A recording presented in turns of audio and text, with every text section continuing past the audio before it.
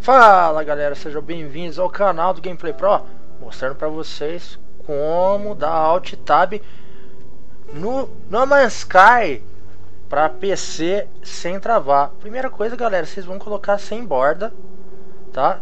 Como o jogo não tem um sair Então você dá um Alt Tab né? Ele vai travar, né? Quem tem um Windows 10 aí, ele vai travar Você clica o direito, manda fechar ele aplica né, o sem borda, o modo de janela que é o borderless, ok?